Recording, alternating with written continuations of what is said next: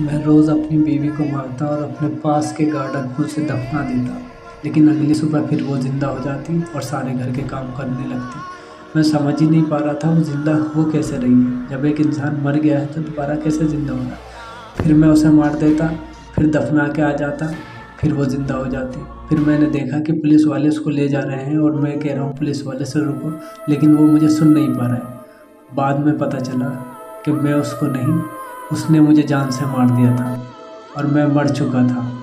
और मेरी बीवी ने कहा आई स्टिल लव यू मैं हक्का बक्का रही